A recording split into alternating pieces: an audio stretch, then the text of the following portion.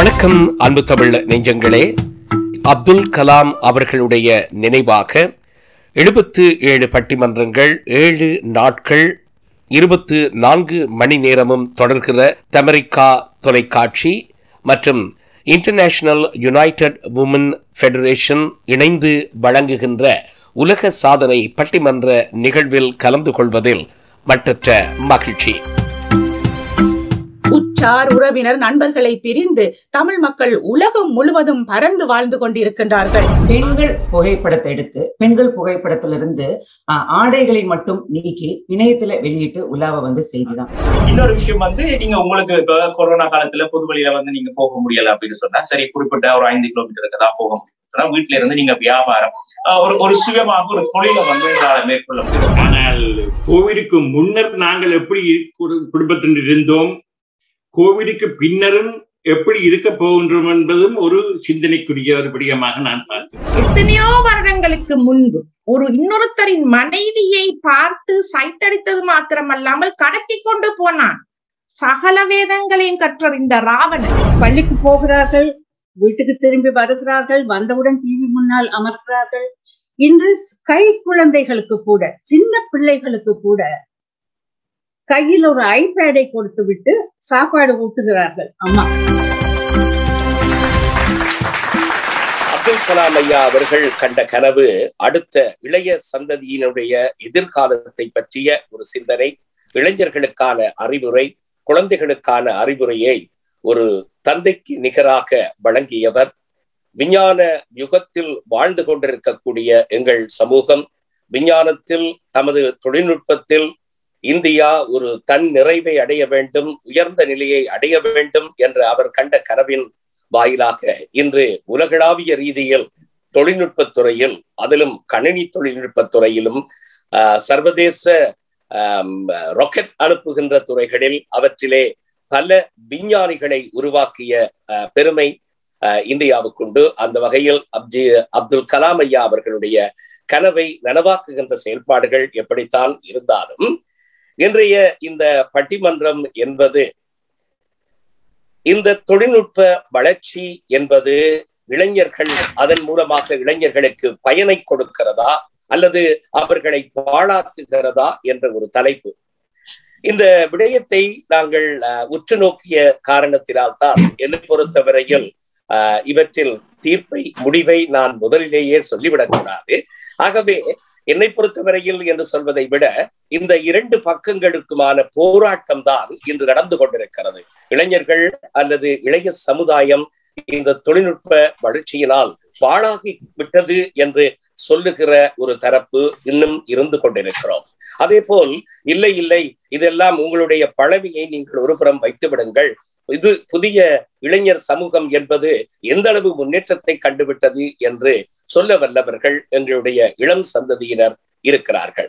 இன்றைய இந்த பட்டிமன்றமும் சிறப்பான ஆறு பட்டிமன்ற பேச்சாளர்கள் என்று சொல்வதை விட புதிதாக ஒரு சிலர் முதல் முதல் பட்டிமன்றம் என்று கூட சற்று சங்கோச்சப்பட்டார்கள். ஆனாலும் அவர்கள் ஒவ்வொருவரும் தனித்துவமான ஆளுமை மிக்கவர்கள். சிறப்பாக சமூகத்தில் மொழியோடும் கலையோடும் கலாச்சாரத்தோடும் இலக்கியத்தோடும் பணிபுரிபவர்களை தேர்ந்தெடுத்து உங்கள் முன்னிலையில் இன்றைய இந்த நிகழ்ச்சியிலே அழைத்து வந்திருக்கிறேன். அந்த வகையில் இன்றைய பட்டிமன்றத்தை ஒவ்வொருவர் அறிமுகப்படுத்துவது அவர்கள் பேசுவதற்கு முன்னர் அவர்களை பற்றிய சிறிய அறிமுகத்தை தரலாம் என்று நினைக்கிறேன். இன்றைய தொழில்நுட்ப வளர்ச்சி இளைஞர்களை இளைஞர்கள் தொழில்நுட்ப வளர்ச்சியால் இளைஞர்கள் பயனடைகிறார்கள் என்ற அணியின் முதல் வாதத்தை முன்வைக்க வருகிறார் சகோதரி மேகானந்தி சிவராசா. இந்த மேகானந்தி சிவராசா அவர்கள் இளையவர். இளம் சமூகத்தில் மத்தியில் பல சமூக சேவைகளை செய்து வருபவர். அரச அரச சார்பற்ற நிறுவனங்களோடு ஆஹ், ஒன்றி பயணிப்பவர். அரசியல் தலைவர்களுடைய ஒரு அபிப்பிராயத்தை நீங்கள் ஆஸ்திரேலியா மெல்பர்ன் நகரில் கேட்பீர்களாக இருந்தால் தமிழ் சமூகத்தின் பிரச்சனைகள் மற்றும் சிக்கல்கள் போன்றவற்றில் ஒரு நேரடியான ஒரு தொடர்பு ஆடல் உள்ள ஒருவராகவும் இருக்கிறார். அவருக்கு கலையில் மா- மேடை நிகழ்ச்சிகள் பலவற்றை என்னோடு சேர்ந்து கூட தொகுத்து வழங்கி இருக்கிறார் அத்துடன் பரதநாட்டியமும் கற்று வருகிறார். வானொலி ஒலிபரப்பில் அவருடைய பங்களிப்பும் இருந்து கொண்டிருக்கிறது. இன்ப தமிழ் ஒலியூடாக ஒலிபரப்பாகும். அவருடைய சகோதரர் தம்பி மயூரன் அவர்களோடு இணைந்து வார வாரா வாரம் வியாழக்கிழமைகளில் ஆஹ் ஒலிபரப்பாகும் தமிழ் அருவி நிகழ்ச்சியை ஆஹ் வழங்கி வருகிறார். மேகானந்தி சிவராசா அவர்கள் இப்பொழுது இன்றைய தொழில்நுட்ப வளர்ச்சியால் இளைய சமூகம் பயன் அடைகிறது என்ற தனது வாதத்தை முன்வைக்க வருகிறார். மேகானந்தி வாருங்கள் வந்து உங்கள் வாதத்தை இளைஞர் சார்பில் அவர்கள் பயனடைகிறார்கள் தான் என்பதை முன்மொழிகிறார் வணக்கம். தொழில்நுட்ப வளர்ச்சியால் அதாவது ஜூம் மூலமாக இந்திய முன்னாள் குடியரசுத் தலைவர் அப்துல் கலாம் அவர்களின் ஞாபகார்த்தமாக உலக மக்கள் முழுவதும் கேட்டுக்கொண்டிருக்கும் பல பட்டிமன்றங்களில் இன்றைய பட்டிமன்றத்திற்கு தலைமை தாங்கும் எங்களுடைய தலைவருக்கும் எனதணி பேச்சாளர்களுக்கும் எதிரணி பேச்சாளர்களுக்கும் முதல் கண் எனது வணக்கங்களை தெரிவித்துக் கொள்கின்றேன். அப்துல் கலாம் ஐயா அவர்கள் கூறியிருக்கின்றார்கள் தொழில்நுட்பமும் அறிவியலும் மனித குலத்திற்கு ஓர் அழகான பரிசு. அதை நாம் சிதைக்க கூடாது. ஆமாம் பயன் தரக்கூடிய எந்த வளர்ச்சியையும் நாங்கள் சிதைக்க கூடாது. கண் இமை பொழுதும் கை நொடி பொழுதில். இந்த பரந்த உலகத்தையே எங்கள் கைக்குள் கொண்டு வருவது வளர்ந்து வரும் தொழில்நுட்பம் என்று சொன்னால் அது மிகையாகாது. ஆகவே இளம் சமுதாயத்தினர் மட்டுமல்ல எல்லோருமே தொழில்நுட்ப வளர்ச்சியால் பயனடைந்து கொண்டுதான் வருகின்றார்கள். இளைய சமுதாயத்தினர் குறிப்பாக வானொலியாக இருக்கட்டும் தொலைக்காட்சியாக இருக்கட்டும் அவர்களுக்கு சௌகரியமான நேரங்களில் அவர்களுக்கு பிடித்த கருவிகள் மூலம் கேட்பதையோ பார்ப்பதையோ தான் விரும்புகின்றார்கள். இந்த தொழில்நுட்ப வளர்ச்சியால் இப்பொழுது என்ன நடக்கின்றது என்றால் அவர்கள் இந்த நிகழ்ச்சிகள் எல்லாம் பாட்காஸ்ட் மற்றது வலைத்தளங்கள் மூலம் தரவேற்றம் செய்யப்பட்டிருக்கின்றது. அதனால் இளைய சமுதாயங்கள் தங்களுக்கு சௌகரியமான நேரத்தில் இந்த நிகழ்ச்சிகளை பார்த்து கேட்டு பயனடைந்து கொண்டிருக்கின்றார்கள். ஒரு காலத்தில் சிலருக்கு பத்து விடயங்கள் தெரிந்தால் மட்டுமே போதும். அவர்கள் பெரிய அறிவாளிகள் என்று பீத்திக் கொண்டு தெரிவார்கள். ஏனென்றால் ஒரு காலத்தில் புத்தகங்கள் வாய்மொழி வழியாகத்தான் கல்வி கற்கப்பட்டுக் கொண்டிருக்கின்றது. ஆனால் வளர்ந்து வந்த தொழில்நுட்பம் காரணமாக இப்பொழுது என்ன நடக்கின்றது? இ புக்ஸ் ஜேர்னல்ஸ் ஆர்டிகல்ஸ் என்று வலையதளத்தில் நிறைய இருக்கின்றன. அதிலிருந்து இளம் சமுதாயத்தினர் கல்வியாக இருக்கட்டும் அறிவுபூர்வமான விடயங்களாக இருக்கட்டும் தேடி தேடி அதை படித்து அவர்கள் பயனடைந்து கொண்டிருக்கின்றார்கள். இந்த கொரோனா சர்வதேச சர்வதேச தொற்றல் காரணமாக நாங்கள் முடக்க நிலையில் குறிப்பாக மெல்பனில் நாங்கள் முடக்க நிலையில் இருந்து கொண்டிருக்கின்றோம். எங்களுடைய சமுதாயம் எங்களுடைய உறவுகள் வந்து மற்ற சமுதாயத்தை போலல்ல. எங்களுடைய உறவுகள் ஒவ்வொன்றுக்கும் ஒவ்வொரு முக்கியத்துவம் இருக்கின்றது. ஒவ்வொரு உறவு முறைக்கும் நாங்கள் சில மரியாதைகளை கொடுக்கின்றோம். அவர்களுக்கென்று பங்கு பொறுப்புகள் இருக்கின்றன. இதை இந்த முடக்க நிலையில் எப்படி எங்களுடைய இளம் சமுதாயம் அறிந்து கொள்ள முடியும்? அதனால தான் அதனால் தான் குடும்பம் குடும்பங்களாக சேர்ந்து இந்த தொழில்நுட்பம் மூலமாக ஒரு ஒன்று கூடலை நடத்துகின்றார்கள். அப்பொழுது இளம் சமுதாயத்தினர் மற்றவர்களை பார்த்து பழகி அவர்களுக்கு கொடுக்க வேண்டிய மரியாதைகளை உறவு முறைகளை பார்த்து பயனடைந்து கொண்டிருக்கின்றார்கள். அது மட்டுமல்ல கல்விமான் அப்துல் கலாம் அவர்கள் எல்லோருக்கும் கல்வி வேண்டும் என்றதை ஆணித்தரமாக கூறிவிட்டு சென்றிருக்கின்றார். ஆனால் இந்த முடக்க நிலைகளில் பாடசாலைகளாக இருக்கட்டும் பல்கலைக்கழகங்களாக இருக்கட்டும் எல்லாமே மூடி கிடக்கின்றன. ஆனாலும் அந்த கல்வியை மக்களுக்கும் இளைய சமுதாயத்தினருக்கும் சென்றடைவதற்கு தொழில்நுட்ப வளர்ச்சியில் நிகழ்நிலையாக அது நடந்து கொண்டே இருக்கின்றன. குறிப்பாக இலங்கையில் அதாவது வறுமை கோட்டுக்குள் வாழ்கின்ற மாணவர்கள் ஆசிரியர்களே இல்லாத ஒரு பிரதேசத்தில் படித்துக் கொண்டிருக்கின்ற மாணவர்களுக்கு இங்கு மெல்பனிலும் கனடாவிலும் உள்ள தன்னார்வ தொண்டர்கள் என்ன செய்திருக்கின்றார்கள் என்றால் இ கல்வி என்ற ஒரு திட்டத்தை ஆரம்பித்து டேப்லெட் என்கின்ற ஒரு கருவியில் அவர்களுடைய பாடத்திட்டத்தை தரவேற்றம் செய்து கொடுத்து அவர்கள் ஆசிரியர்கள் இல்லாத பொழுது கூட கற்று அந்த கருத்துகளில் சித்தி அடைந்து வரலாறு படைத்திருக்கின்றார்கள் என்றால் இளம் சமுதாயம் எவ்வாறு தொழில்நுட்ப வளர்ச்சியால் பயனடைகின்றது என்பதை நீங்கள் தட்டு தெளிவாக அறிந்து கொள்ளலாம்.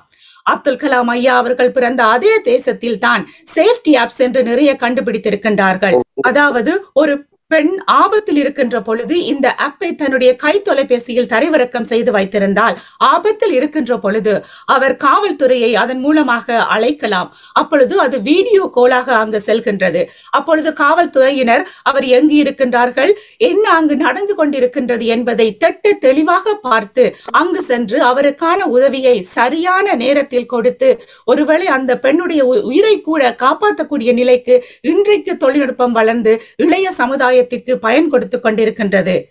உற்றார் உறவினர் நண்பர்களை பிரிந்து தமிழ் மக்கள் உலகம் முழுவதும் பறந்து வாழ்ந்து கொண்டிருக்கின்றார்கள். ஆனால் ஒரு காலத்தில் திருமணமோ ஈமச் சடங்குகள் என்றாலோ பெற்றோர்கள் மட்டும் விமான சீட்டெடுத்து அங்கு சென்று அந்த நிகழ்வுகளில் பங்கு பெற்று வருகின்றார்கள். அப்பொழுது இளைய சமுதாயத்திற்கு அங்கு என்ன நடக்கின்றது என்பதை நாங்கள் தெரியப்படுத்த முடியாமல் இருந்தது. இப்பொழுது லைவ் ஸ்ட்ரீம் மூலம் மக்கள் அதை பார்த்து இளைய சமுதாயத்தினர் பயம் அடைகின்றார்கள் நாங்கள் வாழ்வது பல்கலாச்சார நாடு.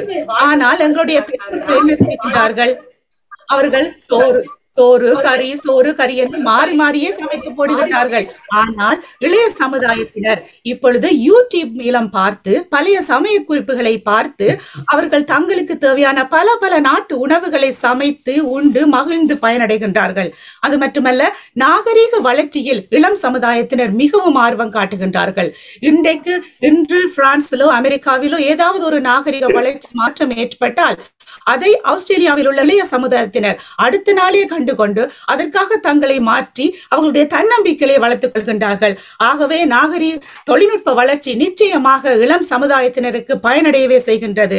கைகள் இணைக்க முடியாத இந்த கொரோனா காலத்தில் இதயங்களை இணையங்கள் மூலம் இணைத்துக் கொண்டிருக்கும் தொழில்நுட்ப வளர்ச்சியால் இளம் சமுதாயம் பயனடைகிறது பயனடைகிறது என்று கூறி வாய்ப்புக்கு நன்றி கூறி விடைபெறுகின்றேன். நன்றி வணக்கம். மிகுந்த மிகுந்த நன்றிகள் மேகானந்தி மிக ஆளுமையோடு இளைய சமுதாயத்திற்கு இந்த தொழில்நுட்ப வளர்ச்சி என்பது எந்த அளவுக்கு உதவுகிறது?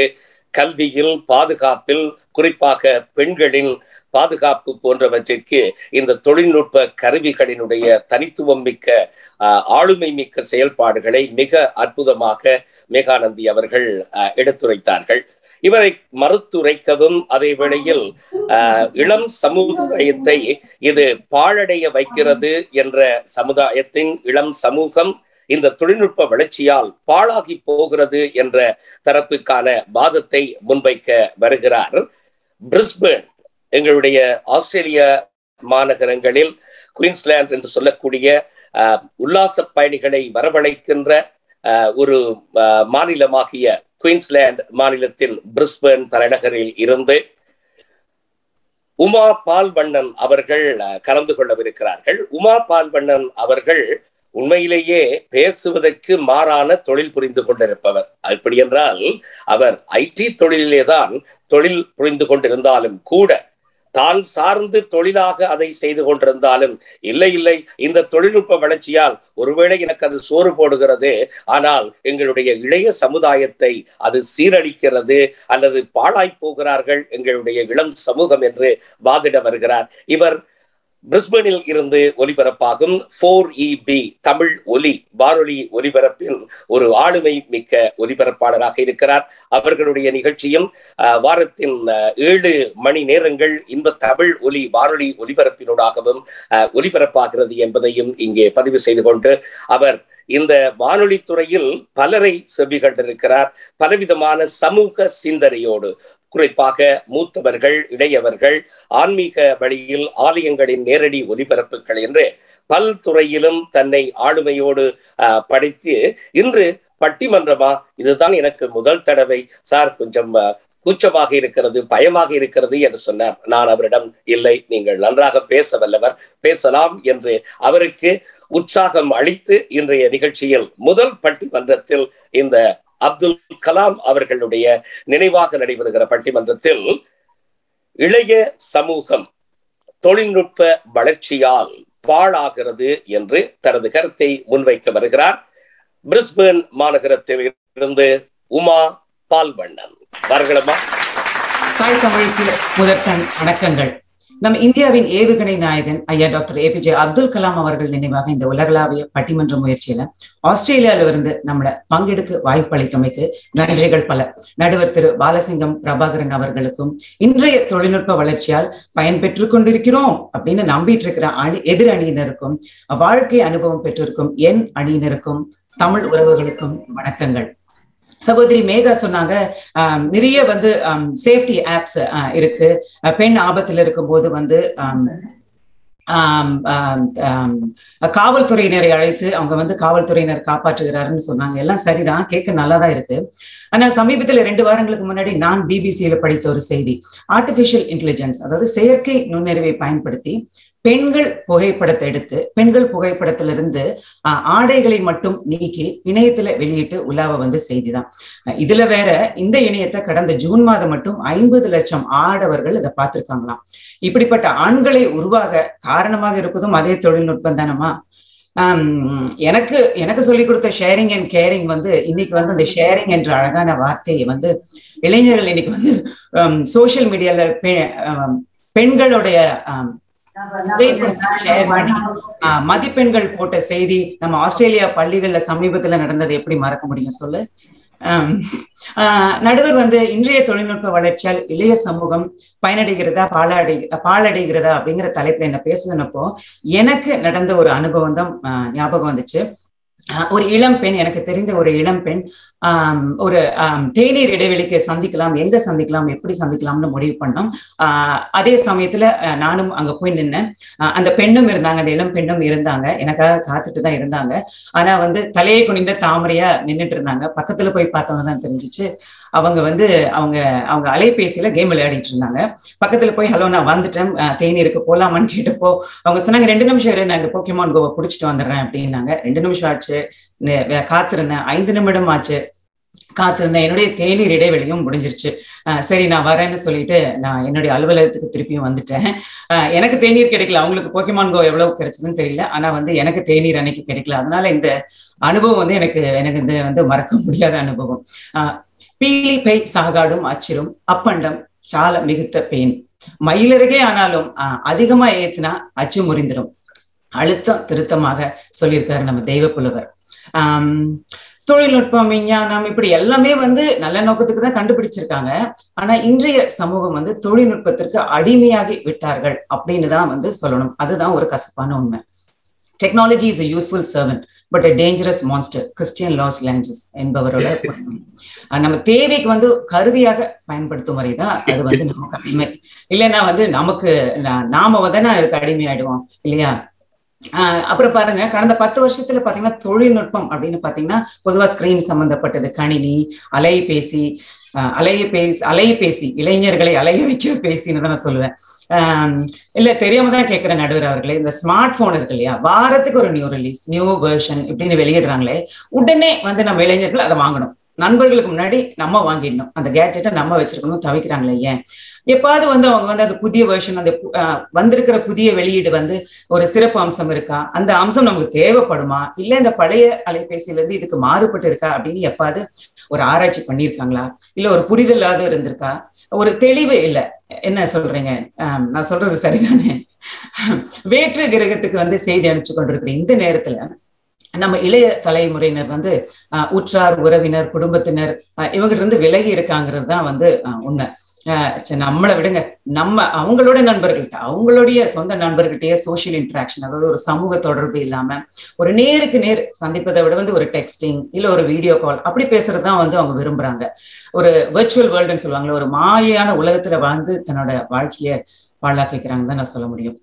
சமீபத்துல ராய் மார்கன் ஆஸ்திரேலியா புள்ளி விவரத்தின்படி பதினான்குல இருந்து இருபத்தி நான்கு வயதினர் உட்பட இருக்கிற இளைஞர்கள் வந்து ஒரு நாளைக்கு இரண்டு மணி நேரத்திற்கு மேல சமூக வலைத்தளங்களை மட்டும் செலவிடுறாங்களாம். அதாவது பள்ளி ஹோம்ஒர்க் வீட்டு பாடத்தெல்லாம் தவிர e safety dot gov dot AU இணையதளத்தின் படி பத்து இளைஞர்கள் ஐந்து இளைஞர்கள் ஏதாவது ஒரு வகையில சமூக வலைத்தளங்கள்ல பாதிக்கப்பட்டிருக்குன்னு இந்த புள்ளி விவரம் சொல்லுது ஆங்ஸைட்டி பதற்றம் எதிர்மறை சிந்தனம் சிந்தனைகள் இப்படி இருக்கிறவங்க வந்து மற்றவர்களை விட சராசரி நேரத்தை விட சமூக வலைத்தளங்கள்ல அதிகமா செலவு செய்யறாங்கன்னு இந்த புள்ளி விவரம் சொல்லுது.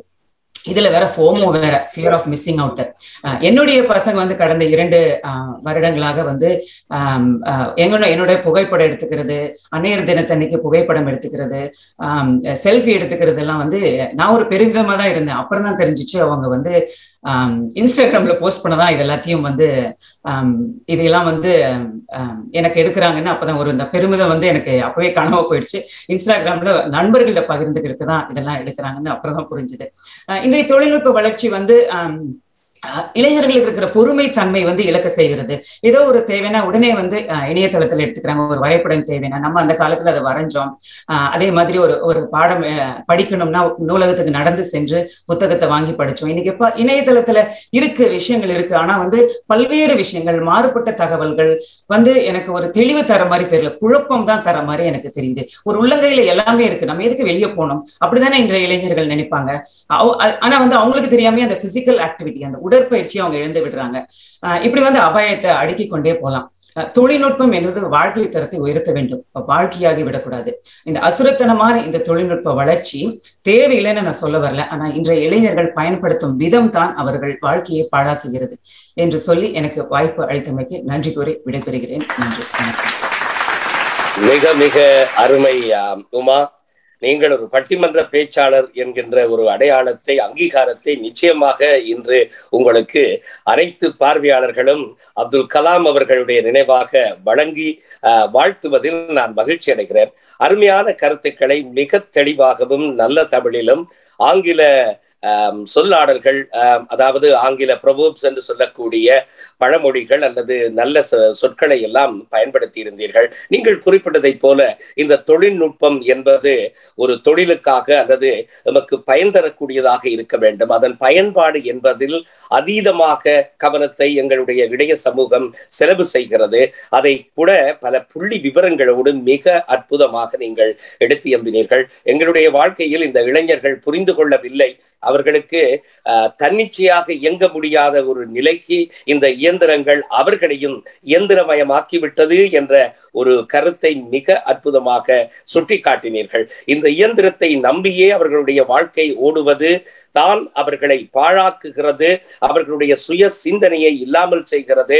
எந்த ஒரு விஷயமாக இருந்தாலும் ஒரு நிமிடம் தானாக தன்னுடைய மூளைக்கு வேலை கொடுக்கிற அளவுக்கு சிந்திக்க வேண்டும் என்ற எண்ணமே இல்லாமல் நீங்கள் குறிப்பிட்டதை போல் உடனடியாகவே கூகுளுக்கு போகிறான் உடனடியாகவே தேடுகிறான் உடனடியாகவே அவனுக்கு யாரோ போட்ட ஒரு பதில் கிடைக்கிறது. அவர் அதிலே திருப்தி அடைந்து விடுகிறான்.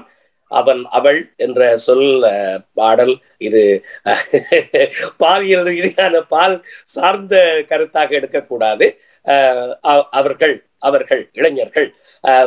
அவற்றை உள்வாங்கிக் கொள்கிறார்கள். ஆகவே இது ஓரளவுக்கு அதாவது அவர் குறிப்பிட்டபடி இளைஞர்களுடைய வளர்ச்சியை அவர்களுடைய சுய வளர்ச்சியை தடை செய்கிறது அதீத பாவனை என்பதும் அவர் கேள்வி ஒன்றை கேட்டிருந்தார். அதாவது இந்த அப்டேட் பண்ணுவது மொபைல் போன் வந்தால் அதனுடைய லேட்டஸ்ட் வெர்ஷன் உடனடியாகவே வாங்க வேண்டும். அவனுடைய சிந்தனைகள் எல்லாம் தன்னை இந்த தொழில்நுட்பத்தோடு சமனாக பயணிக்க வைக்க வேண்டும். அல்லது இந்த தொழில்நுட்பம் என்பது தான் பின்தங்கி நின்றுவிடக் கூடாது. வாழ்க்கையில் எந்த விதத்திலே பின்தங்கி நின்றாலும் கூட தொழில்நுட்பத்தில் நான் அப் டு டேட் ஆக லேட்டஸ்ட் வெர்ஷனாக இருக்க வேண்டும் என்று அங்கலாய்க்கிறார்கள் என்று அற்புதமாக உமா பால்வண்ணன் அவர்கள் தன்னுடைய கருத்தை முன்வைத்தார்கள்.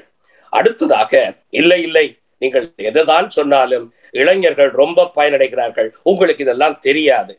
நான் ஒரு இளைஞராக பதிமூன்று பதினாலு வயதிலே ஆஸ்திரேலியாவுக்கு வந்து எவ்வளவோ கஷ்டப்பட்டு இங்கே படித்து பட்டம் பெற்று அதிலே வேலைகள் தொடுகிற பொழுது பல பல விடயங்களை எல்லாம் பல அனுபவங்களை சந்தித்து நான் சுயமாக செய்வேன் நான் சுயமாக நிற்பேன் என்று தொழில்நுட்பத்தையே என்னுடைய ஆயுதமாக முழுமையான ஆயுதமாக எடுத்து புரட்சி எஃப்எம் என்ற ஒரு வானொலி ஒலிபரப்பை நடாத்தி உலகளாவிய ரீதியில் பலரை இணைத்துக் கொண்டேன். பேஸ்புக் கூடாக நீங்கள் சொல்லுகிற நாங்கள் சொல்லுகிற இந்த சமூக வலைத்தளம் எனக்கு ஒரு புதிய வீட்டை கூட கட்டி கொடுத்திருக்கிறது என்கின்ற அளவுக்கு சமூக வலைத்தளத்தை இந்த தொழில்நுட்ப வளர்ச்சி என்பது தன்னிச்சையாக நாங்கள் இயங்கக்கூடிய வல்லமையை எங்களுக்கு தந்திருக்கிறது என்று ஆழமாக பாதிட வருகிறான் தம்பி உங்கள் கமலேஷ். யூடியூப் சேனல் உங்கள் கமலேஷ். கமலேஸ்வரன் கருணாகரன். அவரிடம் கேட்போம் இந்த இளைஞர்களை இந்த இளைய சமுதாயத்தை இந்த தொழில்நுட்ப வளர்ச்சி எப்படி தம்பி வாழ வைக்கிறது? சொல்லுங்கள் கமலேஷ் பாருங்கள் நன்றி நடுவர் ஐயா. ஆஹ் பட்டினி கிடந்து பசியால் வருந்தி பால்பட நேர்ந்தாலும் எந்த கட்டுடல் நலிந்து காய்கால் அளவி வாழ்வு கெட்டி நடுத்தெருவோடு கீழ்நிலையிட்டு இருந்தாலும் மன்னர் தொட்டு வளர்த்த என் தமிழ் மகளின் துயர் துடைக்க மறப்பேன் கூறி அவைக்கு வருகிறேன். அனைவருக்கும் வணக்கம்.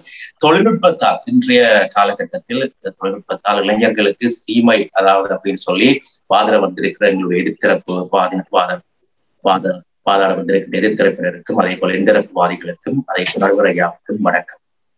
நடுவர் ஐயா இப்ப பாத்தீங்கன்னு சொன்னா அன்புக்குரிய சகோதரி உமா பால்வண்ணன் சொல்லியிருந்தார் இந்த ஸ்மார்ட் போன் ஆப்ஸ் அதே மாதிரி பாத்தீங்கன்னா ஸ்மார்ட் போன்ல மர்பிங் முறையில பல்வேறுபட்ட விதமாக வந்து ஆஹ், இளைஞர்கள் இந்த மாதிரியான ஒரு போக்கு. நீங்க வந்து எப்படின்னா ஒரு பக்கத்தை மட்டும் பாக்குறீங்க இந்த தொழில்நுட்பத்தால இன்றைய காலகட்டத்துல தீமை அப்படின்னு சொல்லி தொழில்நுட்பத்தால வந்து எத்தனையோ நல்ல விடயங்கள் இருக்கிறது. வாழ்க்கை அப்படின்றப்போ பார்த்தோம்னு சொன்னா நடுவரையா ஏராளமான விஷயங்கள் இருக்கிறது. இப்ப கூட பாத்தீங்கன்னா என்ன வந்து ஏனையில் தெருவுல வந்து ஏற்றி விட்ட வெங்காயம் போன வழி மாறி இங்க வந்து பூந்ததோட யோசிப்பீங்க? கொரோனா காலத்துல நிறுவட்ட முடியாத சூழ்நிலை பார்த்தீங்கன்னு சொன்னா நம்ம தொழில்நுட்பத்தை பயன்படுத்தி வந்து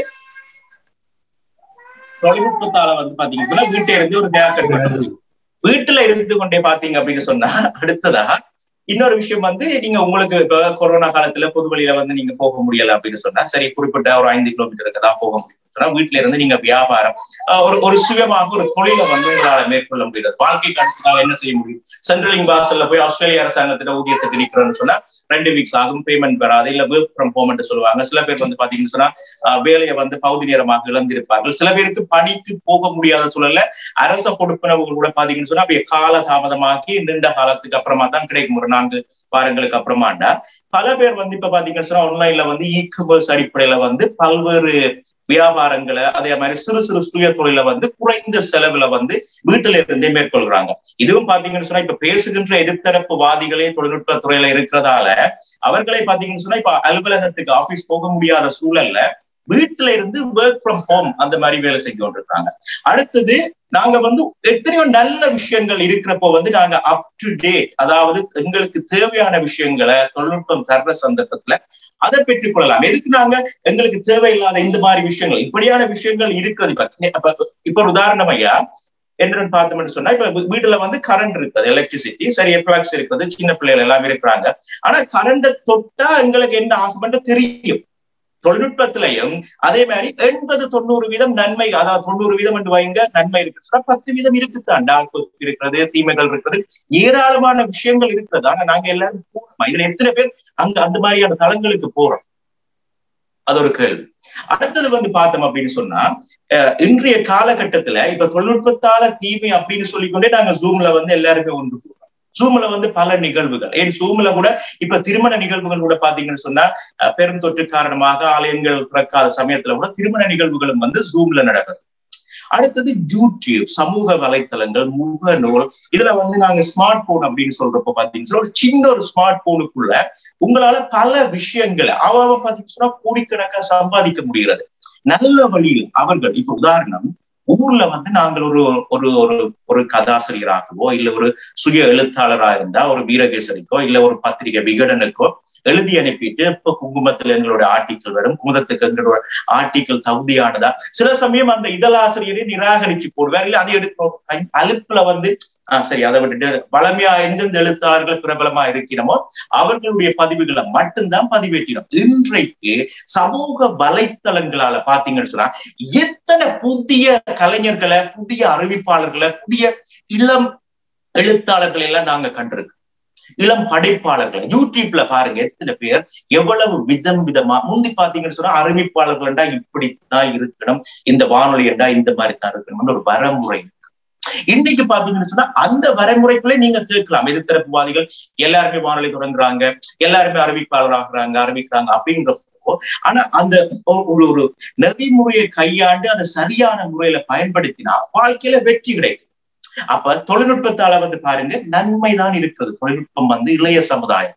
அடுத்தது வந்து பார்த்தோம் அப்படின்னு சொன்னா இப்ப வீட்டுல இருக்கக்கூடிய கிட்ஸ வந்து நீங்க மானிட்டர் பண்ணலாம். கிட்ஸுக்கு வந்து எஜுகேஷனை வந்து இலகுபடுத்த முடியாது இப்ப பாத்தீங்கன்னு சொன்னா இன்னைக்கு மெல்பர்ன் சூழல்ல வந்து ஹஸ்பண்ட் அண்ட் ஒய்ஃப் அதாவது போத் பேரண்ட்ஸ் ஒர்க் பண்ணா மட்டும்தான் நீங்க பிள்ளைகளை வந்து சைல்ட் கேர்ல விடலாம். அப்ப சைல்ட் கேர்ல கிண்டர் கார்டன் போறவங்கன்னு வைங்க உங்க வீட்டுல அப்படி கிண்டர் கார்டன் போகாதவங்களோட பிள்ளைகள் வந்து போரிங்கா இருக்கு வீட்டுல இருக்கிறப்போ. அப்ப அவங்களுக்குரிய ஆக்டிவிட்டிஸ் எல்லாம் ஸ்டோரி பார்க்கா இருக்கலாம் இல்ல ஆன்லைன் இதர கிளாஸஸா இருக்கலாம் இவன் தமிழ் வகுப்புகளா இருக்கலாம் எல்லாமே வந்து ஆன்லைன்ல வந்து இருக்கு அப்ப இலகுவாக வந்து கற்றல் செயற்பாடுகளை மேற்கொள்ளக்கூடியதா இருக்கு.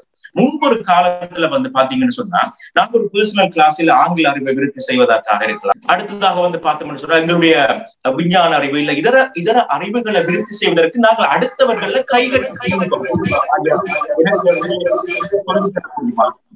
இல்ல இந்த மாதிரி கொடுக்க முடியுமா? அப்படிங்கிறப்போ இல்ல ஒரு கவிஞர்கிட்ட போய் நாங்கள் ஒரு நூலை வெளியிட போறோம் அப்படின்னு சொன்னா அவருக்கு பின்னால லோலோன்னு அலைஞ்சு இறுதியில வந்து பாத்தீங்கன்னு சொன்னா இந்த மாதிரி ஒரு பயங்கர கஷ்டத்துக்குள்ள வெளியிட முடியாமலே பல படைப்புகள் இருக்கு. இன்றைக்கு தொழில்நுட்பம். சுய கற்றலுக்கு வந்து கூகுள் நல்ல விஷயங்கள். அதே மாதிரி பேரண்டல் கண்ட்ரோல் ஆப்ஸ் இருக்கிறது. பெற்றோர்களால் மொழிச பண்ண முடியும். இந்த மாதிரி ஏராளமான நன்மை தரக்கூடிய விஷயங்கள் மற்றவர்களை நல்வழிப்படுத்தி வாழ்க்கையில உஜர வைக்கக்கூடிய விஷயங்கள் அத்தனையும் இந்த தொழில்நுட்பத்தால இருக்கு அப்படின்றத ஆணித்தரமாக கூறி இந்த தொழில்நுட்பம் இளைஞர்களுக்கு நன்மையே என்பதை மீண்டும் மீண்டும் வலியுறுத்தி விடைபெற்றுக் கொள்கிறேன். வாய்ப்புக்கு நன்றிகள். நன்றி. அருமை அருமை கமலேஷ் நீங்கள் சொன்னதை போல இந்த தொழில்நுட்ப வளர்ச்சி என்பதில் நீங்கள் உமா அவர்கள் குறிப்பிட்ட அந்த கருத்தை உள்வாங்கி அதைக்கும் ஏற்ற வகையிலே உங்களுடைய கருத்தை சொல்லி இருக்கிறீர்கள் எல்லாம் இருக்கிறது ஆனாலும் அளவாக பயன்படுத்த வேண்டும். சரியான கட்டுப்பாடோடு இளைஞர்கள் அதை பயன்படுத்துகிறார்கள் என்று அல்லது பயன்படுத்த வேண்டும் என்பதை உங்கள் வாதமாக நீங்கள் முன்வைத்தீர்கள். அதுதான் உண்மையான விடயமும் கூட. அந்த வகையிலே நீங்கள் குறிப்பிட்ட வானொலி ஒலிபரப்பு என்ற என்னுடைய சப்ஜெக்டுகளே கொஞ்சம் டச் பண்ணிட்டீங்க இல்லையா? அதனால அதை சொல்லிட வேண்டும். அந்த காலத்திலே வானொலி ஒலிபரப்பு என்பது எட்டாக்கனியாக இருந்தது. அந்த ஒலிபரப்பிலே ஒரு ஒலிபரப்பாளராக வருவது என்றால் கூட அறுபது எழுபது எண்பதுகளிலே அது கிட்டத்தட்ட நடிகர் திலகம் சிவாஜி கணேசனாக வருகின்ற அளவுக்கு ஒருவருடைய குரல் ஆளுமை இன்று கூட உலகளாவிய ரீதியிலே வலம் வந்து கொண்டிருக்கக்கூடிய அண்ணன் அப்துல் ஹமீத் அவர்கள் வானொலி ஒலிபரப்பாளராகத்தான் கதாநாயகனாக நடிகர் திலகம் சிவாஜி கணேசன் கமலஹாசன் எல்லோராலும் பாராட்டப்படக்கூடியவராக இன்றும் வரம் வந்து கொண்டிருக்கிறார் என்றால் அந்த நாளில் அவர்கள் கடைபிடித்த கட்டுப்பாடுகளும் அவர்கள் அந்த வானொலி என்பது ஒரு தனித்துவம் மிக்க ஆளுமை மிக்கது என்பதை கொண்டதனால் தான் அவருக்கு பிறகு யார் வந்தார்கள்? ஏன்? தொழில்நுட்பம் வளர்ந்தது. நீங்கள் குறிப்பிட்டதை போல மைக்குக்கு முன்னால் இருந்தவரெல்லாம் ஒலிபரப்பாளன் என்று வருகிற ஒரு சூழ்நிலை கொடுத்தது இந்த தொழில்நுட்பம் தான் இன்று கைத்தொலைபேசி ஒன்றை வைத்துக் கொண்டே வானொலி ஒலிபரப்பை நடத்தக்கூடிய அளவுக்கு இந்த தொழில்நுட்பம் வளர்ந்திருக்கிறது. அதனால் நன்மைதான் அல்லது அதனால் அவர்களுக்கு வாய்ப்புகள் கிடைக்கிறது என்பது உண்மை. ஆனால் ஒட்டுமொத்தமான படைப்புகள் சீரழிகிறது என்பதை நான் இந்த இடத்திலே சொல்லிக்கொள்ள வேண்டும். ஆனாலும் அவர் குறிப்பிட்டதை போல அவருடைய வாதத்தில் இந்த தொழில்நுட்பத்தை சரியான முறையில் அளவான முறையில் இளைஞர்கள் பயன்படுத்துவார்களாக இருந்தால் அதிலே நிச்சயமாக சாதிக்கலாம் என்பதில் மாற்று கருத்து இருக்க முடியாது. அடுத்ததாக இந்த வாதத்துக்கு எதிர்வாதம் வைப்பது மட்டுமல்ல ஒரு மூத்தவர் அதிலும் முதன்மையாக இலங்கை மட்டுமல்ல தமிழகத்திலே இருக்கக்கூடிய உலகளாவிய ரீதியிலே ஒரு பிதா. எதுக்கு பிதா? பொப்பிசை என்ற ஒரு இசையை அறிமுகப்படுத்திய இலங்கையிலே அறிமுகப்படுத்திய பெருமைக்குரிய ஒருவர் அடுத்து எங்களோடு பேசவிருக்கிறார். அல்லது தன்னுடைய கருத்தை சொல்லவிருக்கிறார். இவர் பொப்பிசை பிதா நித்தி கனகரட்டம் ஐயா அவர்கள். நித்தி கனகரட்னம் அண்ணா அவர்கள் பொப்பிசை பாடிய எழுபது எழுபத்தி எட்டுகளில் ஏ மனோகரன் இவர் போன்றவர்கள் அந்த இசை என்பது அந்த துள்ளல் இசை என்பதுதான் இலங்கையை பொறுத்தவரையில் முக்கியமான இசையாக பார்க்கப்பட்டது தமிழகத்தில் இருந்து வருகிற பாடல்களைத்தான் இலங்கையிலே ஒலிபரப்பிக் கொண்டிருந்தோம். ஆனால் சொந்தமாக பாடல்களை எழுதி சொந்தமாக மெட்டமைத்து சொந்தமாக மக்கள் மத்தியில் நல்ல கருத்துக்களை அண்ணன் நித்தி கனகரட்னம் அவர்களுடைய பொப்பிசை பாடல்களை கேட்டீர்களாக இருந்தால் வாழ்க்கைக்கு முன்னேற்றம் தரக்கூடிய பாடல்கள் அதிலும் இளைஞர்களை வழிப்படுத்துவதற்கு வழி நடத்துவதற்கு நடக்கின்ற விஷயங்களை சுட்டிக்காட்டி சுவாரஸ்யமாக பாடல்களை எழுதி தந்த பொப்பிசை பிதா நித்தி கனகரட்டம் அவர் பாடல்கள் மட்டும்தான் பாடினாரா? இல்லை. இன்று அவர் ஒரு பரியாரி. இந்த பரியாரி என்கின்ற சொல் சில வேளை சிலருக்கு புரியாமல் இருக்கலாம். பரியாரி என்பவர் இயற்கை மருத்துவம். ஆயுர்வேத மருத்துவர் அல்ல. இவர் ஒரு மருத்துவர். இயற்கை மருத்துவத்தை கற்று அதிலே தனித்துவமாக இன்றும் வானொலி ஒலிபரப்புகளில் எங்களுடைய ஸ்பைசஸ் என்று சொல்லக்கூடிய இந்த மளிகை சாமான்களிலே இருக்கக்கூடிய ஆரோக்கியமான விடயங்களை இன்றைக்கு கொரோனாவோடு போராடுகிறவர்களிலே இறப்பவர்களுடைய தொகையை பார்த்தால் கூட நமது நாட்டு அந்த கொரோனா பஞ்சம் காரணமாக பசி காரணமாக சரியான உணவுகளை உண்ண முடியாத வறுமை காரணமாக தான் அவர்கள் கொரோனாவால் இறக்கிறார்களே தவிர இந்த எங்களுடைய உணவு வழக்கம் எங்களுடைய பாரம்பரிய உணவு பழக்கங்கள் எந்த அளவுக்கு ஆரோக்கியமாக நம்மை வைத்திருக்கிறது என்பதை எல்லாம் உலகளாவிய ரீதியிலே பல பேட்டிகள் செவ்விகள் மூலமாக இன்றும் போதித்து வருபவர். அது மட்டுமல்ல கடந்த மூன்று ஆண்டுகளுக்கு அதாவது சமீப காலத்தில் மூன்று ஆண்டுகள் இலங்கைக்கு சென்று அவர் ஒரு கிறிஸ்தவராக இருக்கின்ற காரணத்தினால் மிஷனரி என்று சொல்லக்கூடிய சமூக சேவையை அங்கே இந்தியா தம மன்னிக்கவும் எங்களுடைய தாய்நாட்டுக்கு சென்று ஆட்சி இருக்கிறார் இப்படி சமூக சேவைகளிலும் பாடலிலும் ஆடி பாடி மகிழ்வதிலும் உங்கள் தமிழகத்தின் பாடலில் நீங்கள் கேட்டிருப்பீர்கள் சின்ன மாமியே என் செல்ல மகளெங்கே பள்ளிக்கு போனாலோ படிக்க போனாலோ என்ற பாடல். நான் பாடியிருப்பேன். இந்த அந்த விஷயத்தை அண்ணனிடம் விட்டுவிட வேண்டும் என்பதற்காக நான் பாடவில்லை. இந்த சின்ன மாமியே உன் சின்ன மகளெங்கே என்ற பாடல் பல இசையமைப்பாளர்களால் தமிழகத்தில் இசையமைக்கு பாடப்படுகிறது. வரிகள் கூட ஆரம்ப வரிகள் அண்ணாவின் வரிகள். அதுக்கு பிறகு திரைப்படத்துக்கு ஏற்ற மாதிரி மாற்றிக்கொண்டார்கள் ஆனால் மெட்டும் இசையும் எங்கள் அண்ணன் ஈழத்து பொப்பிசை பிதா நித்தி கனகரட்னம் அண்ணாவுக்கே உரித்தானது என்று சொல்லி இன்றைக்கு இந்த தொழில்நுட்ப வளர்ச்சி என்பது இளைய சமுதாயத்தை பாழாக்குகிறது என்பதை தன்னுடைய மருத்துவம் சார்ந்து தான் ஒரு பரியாரி என்பதை நிரூபிக்கக்கூடிய வகையில் எப்படி இந்த தொழில்நுட்பத்திற்கும் மருத்துவத்திற்கும் இயற்கைக்கும் என்ன சம்பந்தம் என்று நீங்கள் சிந்திப்பீர்கள்? அண்ணன் அதற்கு பதில் சொல்ல வருகிறார்.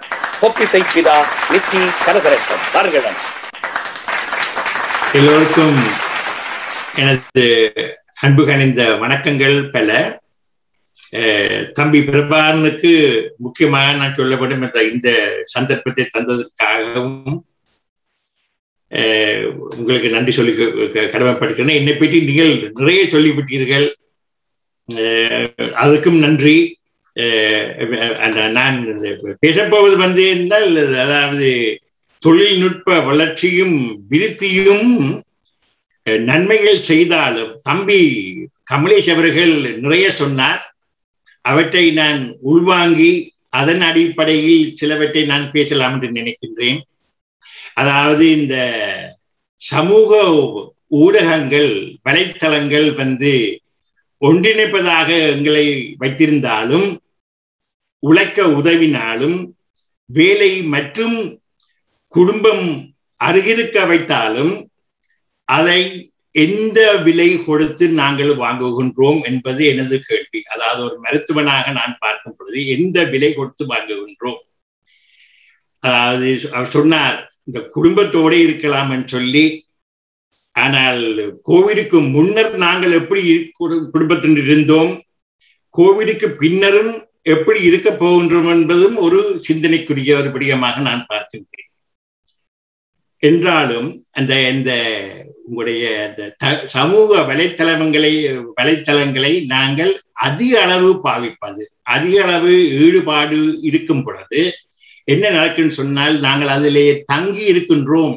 We we develop a dependency on that ஆகையினாலே அதனாலே வரக்கூடிய பிரச்சனைகள் என்னன்னு சொன்னால் ஒன்று அதாவது மனோதத்துவ ரீதியான உடலிலே உண்டாகும் விளைவுகள். அடுத்தது வந்து மருத்துவ ரீதியாக நலம் உடல் நலம் குறைவதும் அங்கே உண்டாவதாக ரெண்டு காரணங்களே நாங்கள் பார்க்கலாம். அந்த மனோதத்துவ ரீதியாக பார்க்கும் பொழுது அநேகமாக என்ன நடக்குன்னு சொன்னால் நாங்கள் வந்து தனிமைப்படுத்தப்படுகின்றோம். அதாவது இந்த தமிழ் அதாவது சமூக ஊடகங்களுக்கு ஊடாக நாங்கள் தனிமைப்படுத்தப்படுகின்றோம். அதாவது போனை வைத்துக்கொண்டு நாங்கள் தனிமையாக இருந்து பேச பழகின்றோம் அதனாலே அதன் தாக்கத்தினாலே உண்டாவது வந்து அதாவது மன அழுத்தம் மற்றது வந்து அதாவது அடுத்ததாக வந்து சொன்னால் அது அங்கலாய்ப்புன்னு சொல்லுகின்றார்கள். Anxiety என்று ஆங்கிலத்தில் சொல்கின்றோம். மன அழுத்தம் என்று சொல்லி டிப்ரெஷன் என்று சொல்லுகின்றோம். இவை இவ்வளவு இவை அவ்வளவு எங்கள் கண்களினாலே நாங்கள் பார்க்கும் பொழுது அங்க அந்த கண்களினாலே இந்த அந்த ஒளி அதிர்வுகளினாலே அது அதிர்வுகளாக அதிர்வலினூடாக கண்கள் எங்களுக்கு தாக்கப்படும் பொழுது நித்திரையின்மை என்பது எங்களுக்கு வருகின்றது. முக்கியமாக நீல ஒளி. அது வந்து எங்களுக்கு இரவும் பகலமாக கண்களுக்கு ஊடாக போகும் பொழுது அங்கே வந்து எங்களுக்கு நித்திரையின்மையை உண்டாகின்றது அதாவது நாங்கள் சொல்வோம் சுகேடியன் ரிதும் என்று சொல்லுகின்றோம். நித்திரை கொள்வது நித்திரை கொள்ளாமல் முழித்திருப்பது போன்ற நிலைப்பாடுகளிலேயே மாற்றம் ஏற்படுவென்று ஏற்படும் பொழுது அங்கே எங்களுக்கு அந்த மனதிலே தாக்கம் ஏற்படுகின்றது. மனது ஒளி அதிர்வுகளினாலே மூளை வியாதிகளும் உண்டாவதாக நான் சொல்லவில்லை ஆய்வுகள் ஊடாக நான் சொல்லுகின்றேன். அதாவது மருத்துவ ஆய்வுகளின் ஊடாக நடத்தப்பட்ட அதாவது அண்மையில் நடந்த காரியங்களை வைத்து எழுதப்பட்ட ஆய்வு தரவுகளின் ஊடாக நான் இதை வைத்து பேசுகின்றேன். அதே நேரத்திலே இன்னும் ஒன்று யோசிக்க வேண்டும். அநேக மாணவர்கள் வந்து இந்த சமூக ஊடகங்களுடன் இருக்கும் பொழுது அவர்களை அவர்கள் அமர்ந்திருக்கும் விதம் அதனாலே அவர்களுக்கு இந்த உடல் தோற்றத்திலே ஒரு ஒரு ஒரு பிழை ஒன்று உண்டாவதை நாங்கள் பார்க்கின்றோம். உடல் தோற்றம் கூனு கூனி போவது போன்ற நிலைகளும் அங்கே ஏற்படுவதை நாங்கள் பார்க்கின்றோம். அதை தொடர்ந்து அதே அதே நேரத்திலே உடல் பருமனும் உண்டாகின்றது எடை கூறுகின்றது. அதனாலே வரும் தாக்கங்கள் ரெண்டு முக்கியமானவை. என்னன்னு சொன்னால் உங்களுக்கு வந்து இருதய அடைப்புகள் இருதய நோய்கள் அல்லது டைப் டூ நீரிழிவு அல்லது சலரோகம் என்று சொல்லுவார்கள். டயபெட்டிஸ் டைப் டூ டயபெட்டிஸ் சொல்கின்றார்கள். அதோடைய பலரும் வந்து சிறு வயதிலேயே இறந்து போவதாகவும் எங்களுக்கு தரவுகள் தரப்பட்டிருக்கின்றன. மற்றது முக்கியமாக சிறுவர்களை பார்க்கும் பொழுது சிறுவர்களிலே கல்வி தடைப்படுவதாக பார்க்கின்றோம் படிப்பில் கவன ஈனம் இருக்கிறதாக பார்க்கின்றோம் மட படைப்பாற்றல் இல்லாமல் இருப்பதாக காண்கின்றோம் கருத்து போவதும் நித்திரை கொள்வதும் இல்லாமல் போகின்றோம்.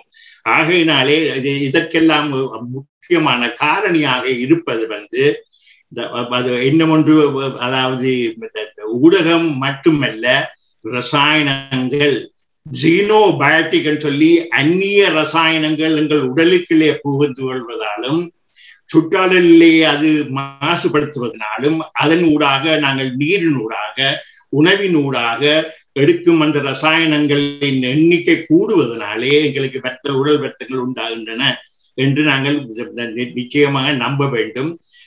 நான் இந்த முடிக்க முதல் சொல்ல வேண்டியது ஒன்று இன்று இன்று வரை ஆய்வுகளினூடாக கண்டு பிடிக்கப்பட்ட ரசாயனங்கள் அதாவது இயற்கை ரசாயனங்கள் எண்ணிக்கை பதிமூன்று ஆயிரம் மட்டுமே. ஆனால் எமது வாழ்க்கைக்கு தேவையானது என்று சொல்லி பதினைந்து மில்லியன் ரசாயனங்களை செயற்கையாக நாங்கள் தயாரித்திருக்கின்றோம். அதன் ஈடுபாடினாலே உடலிற்கே பூவதனாலே எங்களுக்கு நோய்கள் உண்டாகின்றன.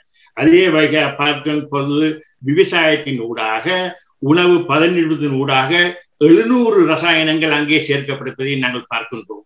அந்த வகையான ரசாயனத்தின் தாக்கத்தினாலே உடல் வாகு குறைந்து இன்றைய நிலைகள் அதாவது இன்றைய நோய்கள் நாங்கள் அறியாத நோய்கள் எல்லாம் வரக்கூடிய நிலைக்கு நாங்கள் தள்ளப்பட்டிருப்பதை பார்க்கும் பொழுது நாங்கள் ஒரு உரலுக்கில் விழுந்து விட்டோம். உழைக்கக்கு தப்ப முடியாது என்ற நிலையில் நாங்கள் இன்று வாழ்வதாக அதாவது இந்த அதாவது இந்த தொழில்நுட்ப வளர்ச்சியின் ஊடாக உண்டாக்கப்பட்ட ரசாயனங்களினாலே நாங்கள் சாகின்றோம் இறந்து கொண்டிருக்கின்றோம். அதற்கு மருந்துகள் இல்லை. மருந்துகள் எடுத்தால் கூட உங்களுக்கு பக்க விளைவாக அங்கே பலவிதமான நோய்கள் உண்டாவதை நாங்கள் பார்க்கும் பொழுது எனக்கு மிகவும் எல்லாமே அருமை. நன்றி. அருமை அருமை அருமை. ஆனால் பட்டிமன்ற விதிமுறைகளுக்கு மாறுபட்டு அல்லது வேறுபட்டு உங்களிடம் ஒரு சின்ன வேண்டுகோள் உங்களுடைய பாடலிலே இந்த கள்ளுக்கடை பக்கம் போகாதே என்கின்ற பாடல் பழைசாக இருந்தாலும் இப்பொழுது கள்ளுக்கடை பக்கம் போக மாட்டார்கள். பியர் பக்கம் போவார்கள் இளைஞர்கள் வைன் பக்கம் போவார்கள். ஆனாலும் அந்த கள்ளுக்கடை என்பது மதுவுக்கான ஒன்று என்பதனால் நீங்கள் ஆஹ், கள்ளுக்கடை பக்கம் போகாதே பாடலின் ஒரு சில வரிகளை எங்களுடைய பட்டிமன்ற விதிமுறைகளுக்கு அப்பால் உங்களுடைய குரலில் அந்த பாடலின் ஒரு சில வரிகள் கேட்டு நாங்கள் அடுத்த பேச்சாளருக்கு செல்லலாம். நன்றி. கள்ளுக்கடை பக்கம் போகாதே. காலை பிடித்து கெஞ்சுகிறேன். கண்ணும் புகைந்திடும். நெஞ்சும் வறண்டிடும். கைகால் உலர்ந்திடும் இந்த கல்லாலே. ஆட்சி இந்த நப்பும் இந்த கடையில் தான் அடுத்த வீட்டு வாத்தியாரும் கடையில் தான் வைட்டமின் பி என்று வைத்தியரும் சொன்னதாலே விட்டேனோ கள்ளு குடியை நான். பரிகாரியாக அன்றே நீங்கள் அந்த செயல்பாட்டை செய்திருக்கிறீர்கள். அந்த வகையில் அந்த கருத்துக்களும் நீங்கள் குறிப்பிட்ட கருத்துக்கள் குறிப்பாக இந்த இளைஞர்கள் இந்த தொழில்நுட்ப வளர்ச்சியோடு செல்கிற பொழுது இந்த மொபைல் போன் அவற்றினுடைய பாவனை அதிகரிக்கிற பொழுது அவர்களுடைய கண் அவர்களுடைய மூளை போன்றவற்றிற்கு இந்த ரேடியேஷன் என்று சொல்லக்கூடிய கதிரியக்கம் என்ன அளவு பாதிப்பை தருகிறது என்ற ஒரு விழிப்புணர்வை உங்களுடைய வாதத்தின் மூலம் நீங்கள் முன்வைத்தீர்கள்.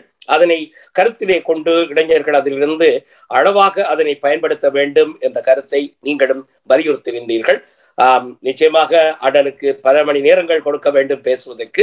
ஆனால் குறிப்பிட்ட நேரத்துக்குள் உங்களுக்கு ஒரு சலுகையாக ஒரு நிமிஷம் எக்ஸ்ட்ராவாக வழங்கப்பட்டது என்பதையும் குறிப்பிட்டு ஆஹ், அடுத்ததாக இந்த நிகழ்ச்சியிலே கலந்து கொள்ள வருபவர் ஆஹ், மரியம் அவர்கள். அண்ணன் அப்துல் ஹமீத் அவர்கள் சொல்வார்கள் மும் மதங்களை சார்ந்து மொழியால் ஒன்றிணைந்தவர்கள் நாங்கள் என்று.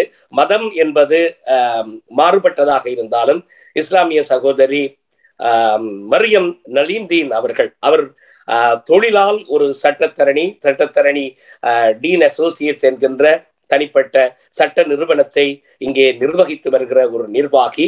அதே வேளையில் இலக்கிய துறையில் மிக நாட்டம் மிக்கவர். ஆஸ்திரேலியாவில் இருக்கக்கூடிய முஸ்லிம் உமன்ஸ் கமிட்டி அதனுடைய பிரதி அதாவது பதில் பதில்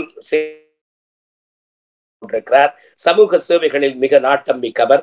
பட்டிமன்றம் போன்ற இந்த நிகழ்வுகளில் தனக்குரிய தனித்துவமான பாணியிலே வாத விவாதங்களையும் கருத்துக்களையும் முன்வைக்கக்கூடிய ஒரு வக்கீல் என்பதனால் வாதத்துக்கு நாங்கள் சொல்ல வேண்டிய அவசியமில்லை. அந்த வகையில் இன்றைய தொழில்நுட்ப வளர்ச்சி. இந்த தொழில்நுட்ப மேம்பாடு என்பது இளைஞர்கள் அதன் மூலமாக அதிக பயனை அடைகிறார்கள் என்ற தனது வக்கீல் வாதத்தை முன்வைக்க வருகிறார் சட்டத்தரணி மரியம் நலீந்தின் பாருங்களம்மா அனைவருக்கும் எனது இனிய மாலை வந்தனங்கள். மன்னிக்க வேண்டும். மாலை இல்லை காலை வந்தனங்கள். அநேகமாக மாலை வேலைகளில் நடக்கும் பட்டிமன்றங்களிலே தான் நான் அதிகம் கலந்து கொண்டிருக்கின்றேன். அந்த பழக்க தோஷம் தான் காலைக்கு பதிலாக மாலை என்று வந்துவிட்டது மன்னிக்க இல்லை. இல்லை. காலையும் காலையும் உண்டு மாலையும் உண்டு. ஏனென்றால் ஆம், கனடாவிலே இப்பொழுது மாலை ஆஸ்திரேலியாவிலே இப்பொழுது காலை. இதைத்தான் சொல்ல வருகிறேன். ஆமாம். காலை என்றால் என்ன மாலை என்றால் என்ன? இவன் நடு இரவு என்றால் கூட என்ன? நாம் அனைவருமே நமது வீடுகளிலே மிக வசதியாக இருந்து கொண்டு லேப்டாப் பிசி ஸ்மார்ட்போன் என்று வெவ்வேறு வடிவிலான தொழில்நுட்ப கருவிகளின் முன்பாக அமர்ந்து கொண்டு எங்களது நடுவர் தேநீர் காஃபி குடித்துக் கொண்டிருக்கின்றார். காஃபி மெஷின் தந்த காஃபியை அனுபவித்து சுவைத்து குடித்தபடி வின்டர் என்பதால் ஆஸ்திரேலியாவிலே ஹீட்டர் வேறு போடப்பட்டிருக்கின்றது. இவ்வாறு தொழில்நுட்பம் நமக்கு அளித்த அளித்திருக்கும் வரப்பிரசாதங்கள் ஒவ்வொன்றையும் அனுபவித்தபடி ஒவ்வொருத்தரும் ஒவ்வொரு ஆஸ்திரேலியாவிலே கூட ஒவ்வொரு ஸ்டேட்டிலும் இருந்து நாம் அனைவரும் இங்கே ஒன்று கூடியிருக்கின்றோம் ஜூம் மூலமாக.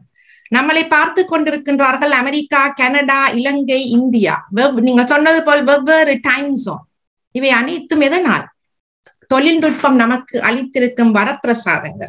ஆகவே அந்த தொழில்நுட்பத்திற்கு எனது முதல் கண் நன்றியை தெரிவித்தவளாக விஞ்ஞான தொழில்நுட்ப அறிவியலின் தந்தை முன்னாள் இந்திய ஜனாதிபதி doctor A P J Abdul கலாமின் நினைவாக நடத்தப்படும் இந்த பட்டிமன்றத்திலே அன்னார் கூறிய வார்த்தைகள் ஒரு கையில் தொழில்நுட்பத்தையும் மறு கையில் எனது தேசத்தின் மீதான பற்றையும் பாசத்தையும் சுமந்த ஒரு இந்திய இளைஞனாக சிறிய அளவில் சாதிக்க நினைப்பது மகா பெரிய குற்றம் என்று உணர்ந்தேன். ஆதலால் இளைஞனே தொழில்நுட்பம் எனும் அந்த அறிவாயுதத்தை உன் கையில் எடுத்து சாதனை புரிந்து காட்டு என்ற அவரது கூற்றோடு தொழில்நுட்ப வளர்ச்சியால் இளைய சமூகம் பயனடைகிறதே அன்றி பாலடையவில்லை என்ற எனது வாதத்தினை இங்கு நான் முன் வைக்க விரும்புகிறேன். இதற்கு முன்பு பேசிய எனது அணி தரப்பினர் இருவரும் மிக அழகான மிக ஆழமான கருத்துக்களை ஆணித்தரமாக சொல்லிவிட்டார்கள். இதற்கு மேலும் சொல்வதற்கு எனக்கு வேற எதுவும் இல்லை. இருந்தாலும் அரைத்த மாவையே மீண்டும் மீண்டும் அரைத்துக் கொண்டு சுப்பர வட்டைக்குள்ளேயே சுத்தி சுத்தி வந்து கொண்டிருக்கும் எங்களது எதிர்த்தரப்பினர் மனசாட்சியே இல்லாமல் வைக்கும் அவர்களது கருத்துக்களுக்கு பதிலளிக்க வேண்டிய கட்டாய கடமையில் நான் உள்ளேன். உமா சகோதரி உமா எப்படி உமா? ஐடி எக்ஸ்பர்ட் அந்த துறையிலே எக்ஸ்பர்ட்டாக வேலை செய்து கொண்டிருக்கிறீர்கள். இங்கே வந்து தொழில்நுட்பம் பாலாக்குகிறது என்று கூறுகிறீர்கள். மனசாட்சியே இல்லாமல். இப்போது புரிகிறதா? நீங்கள் சந்திக்க சென்ற நண்பி உங்களுடன் பேசுவதை விட போக்கிமான் சிறந்தது. எவ்வளவோ மேல் என்று அவர் முடிவெடுத்தது. ஏன் என்று இப்போது உங்களுக்கு நன்றாக புரிந்திருக்கும் என்று நினைக்கிறேன். அடுத்து நிறைய புள்ளி விவரங்கள் அடுக்கிக் கொண்டே போனீர்கள். E இ சேஃப்டி இணையதளத்தின் புள்ளி விவரங்கள் இன்னும் பல புள்ளி விவரங்கள் எப்படி உமா எடுத்தீர்கள்? வீடு வீடாக சென்றா நாடு நாடாக சென்றா எப்படி? கூகுள் தானே? கூகுளுக்கு இதெல்லாம் தேவைப்படும். ஆனால் இங்கே வந்து வேறொரு கதை. உங்களுக்கு வந்த ரத்தம் எங்களுக்கு வந்த அது தக்காளி சட்னி. மிக நன்றாக இருக்கின்றதுமா அடுத்து உங்கள் அனைவரதும் ஒட்டு மொத்தமான குற்றச்சாட்டு என்ன? இன்றைய தலைமுறையினர் இந்த தொழில்நுட்ப வளர்ச்சியால் பாலடைந்து கொண்டு போகின்றார்கள் என்று. உங்கள் உங்கள் அனைவருக்கும் தெரியுமா ஒரு விடயம்? இஜிப்டிலே இந்த இஜிப்சியன் பிரமிட்ஸ் இருக்கின்றது. சுமார் நாலாயிரம் வருடங்களுக்கு முன்பு அமைக்கப்பட்ட அந்த பிரமிட்கள் அந்த ஒவ்வொரு பிரமிடிலும் ஒவ்வொரு வாசகங்கள் பொறிக்கப்பட்டிருக்கு. போகும் அங்கே அதனை பார்ப்பதற்காக செல்லும் உல்லாச பயணிகள் அதனை பார்த்து வாசித்து புகைப்படங்கள் எடுத்தெல்லாம் போடுவார்கள். அப்படி போடப்படுவது கூகுளிலே பகிரப்படும். அப்படி பகிரப்பட்ட வாசகத்திலே மிக பிரபல்யமான ஒரு வாசகத்தை நான் உங்களுக்கு வாசிக்கின்றேன். நாலாயிரம் வருடங்களுக்கு முன்பு. The youth of today no longer respect their parents. They are rude and impatient. என்று அடுக்கிக் கொண்டே போகின்றது. நாலாயிரம் வருடங்களுக்கு முன்பே சொல்லி இருக்கிறார்கள் இப்போதைய இலசுகள் எந்த விதமான ஒரு மரியாதையும் இல்லை ஒரு பண்பும் இல்லை பெற்றோர்களுக்கு கட்டுப்படுவதில்லை ஒரு ஒரு கண்ட்ரோல் இல்லாமல் நடந்து கொண்டிருக்கின்றார்கள் என்று. அப்போதென்றால் அந்த நாலாயிரம் வருடங்களுக்கு முன்பு தொழில்நுட்பம் இருந்ததா? அந்த யூத்தை பாலாக்குவதற்கு இல்லை. என்னை கேட்டால் நாலாயிரம் வருடங்களுக்கு முன்பும் இல்லை. அப்பொழுதே ஆதாமேவா நீங்கள் சொல்கிறீர்கள் இந்த ஆப்பிள் போன் வந்துதான் இலேசுகளை பாலாக்குகிறார்கள் என்று. இல்லை. எப்பொழுது இறைவன் ஆதாமேவாலை படைத்து அவர்கள் இறைவனால் தடுக்கப்பட்ட அந்த ஆப்பிளை சுவைத்து பார்க்க வேண்டும் என்று ஆசைப்பட்டார்களோ? அன்றே ஆரம்பமாகிவிட்டது மனித சமூகத்தின் சீரழிவு. அது எந்த ஒரு அந்த அந்த காலத்தில் எந்த ஒரு தொழில்நுட்பம் இருக்கவும் இல்லை ஆப்பிள் போன் இருக்கவும் இல்லை. அதே போன்று உமா சொன்னார் பெண்ணின் புகைப்படம் ஒன்று ஆஹ் எதில் ஷேர் பண்ணப்படுகின்றதாம் என்று. நான் கேட்கின்றேன் உமா எத்தனையோ வருடங்களுக்கு முன்பு ஒரு ஒரு இந்த காலத்திலே கூட எந்த காலத்திலும் ஒரு இன்னொருத்தரின் மனைவியை ஏறெடுத்து பார்ப்பதும் தவறு என்று நினைக்கும் நமது சமுதாயத்திலே எத்தனையோ வருடங்களுக்கு முன்பு ஒரு இன்னொருத்தரின் மனைவியை பார்த்து சைட்டடித்தது மாத்திரமல்லாமல் கடத்தி கொண்டு போனான். சகல வேதங்களையும் கற்றறிந்த ராவணன். எந்த யூடியூப் சேனல் எந்த டிக்டாக் எந்த சோசியல் மீடியாவை பார்த்து அவன் அந்த சீதையை கடத்தி கொண்டு போனான். அப்பொழுது எனது தரப்பு மேகா சொன்னது போல ஒரு டிவைஸ் ஒரு ஆப் அவர் சீதையின் போனிலே இருந்திருந்தால் இலங்கை போலீஸ் உடனே அங்கே போயிருப்பார்கள் அவரை காப்பாற்றி இருப்பார் அப்படி இல்லை என்றால் இந்திய போலீஸ் ஆவது நிமிடத்துக்குள் போகும் ஜெட் விமானத்திலே போய் சீதையை காப்பாற்றி இருக்கலாம் சீதையின் அன்லக்கினஸ் அவரிடம் அப்படியான அப்போ எந்த தொழில்நுட்பமோ இருக்கவில்லை. தர்மன் சூதாட்டத்திலே தன்னையும் இழந்து தன் மனைவியையும் இழந்து தன் நாட்டையும் இழந்து அனைத்தையும் இழந்தான். எந்த தொழில்நுட்பம் அப்போது அவனுக்கு இருந்தது என்று கேட்டுக்கொள்ள விரும்புகிறேன். அது மாத்திரம் அல்லாமல் இந்த என்னை பொறுத்தவரை மாத்திரமல்ல அனைவரது பொது கருத்து வந்து இந்த தொழில்நுட்பத்துக்கு முந்தைய காலத்தில் தான் அனைத்து அநியாயங்களும் அட்டூழியங்களும் உலகிலே நடந்து இருக்கின்றன. எத்தனை போர்கள் நடந்திருக்கின்றன? அதிலே எத்தனை உயிர்கள் மாண்டிருக்கின்றன? இப்பொழுது ஆப்கான் மண்ணிலே அழுது கொண்டிருக்கும் அகதிகளுக்காக ஆஸ்திரேலியா மண் அழுது கொண்டிருக்கின்றது. சட் நூற்றுக்கும் அதிகமான சட்டத்தரணிகள் இரவு பகல் பாராது நாங்கள் பாடுபட்டு கொண்டிருக்கின்றோம். அங்கே இருக்கும் அந்த அகதிகளை இங்கே எடுப்பதற்கு? எப்படி? அவர்களுக்கும் எங்களுக்கும் எந்த தொடர்பும் இல்லை. எல்லாமே ஆன்லைன் மூலமாக. வாட்ஸ்அப் மூலமாக பேசுகின்றார்கள். ஆன்லைன் மூலமாக டாக்குமெண்ட்ஸ் பரிமாறப்படுகின்றது. இப்போது காலையில் ஒரு சகோதரர் சொன்னார் எனக்கு பாஸ்போர்ட் இல்லை என்று ஆப்கானிலே இருந்து வருவதற்கு. உடனே ஹோம் ஹோம் அஃபேர்ஸ் டிபார்ட்மெண்ட் அனுப்புகின்றது இமி கார்டு என்று ஒன்று. ஆன்லைன் மூலமாக. ஒவ்வொரு நாட்டினதும் விமானங்கள் போட்டி போட்டு கொண்டு அங்கே செல்கின்றன. அவர்களை ஏற்றி வருவதற்காக. தொழில்நுட்பம் இல்லை என்றால் இவையெல்லாம் நடக்குமா சகோதரி? அடுத்து எங்களது பப்பிசை பாடகர் ஐயா உங்களது பாடங்கள். நீங்கள் எத்தனை மருத்துவம் என்ன செய்து செய்கிறீர்களோ என்ன உங்களது ஆராய்வோ எனக்கு தெரியாது.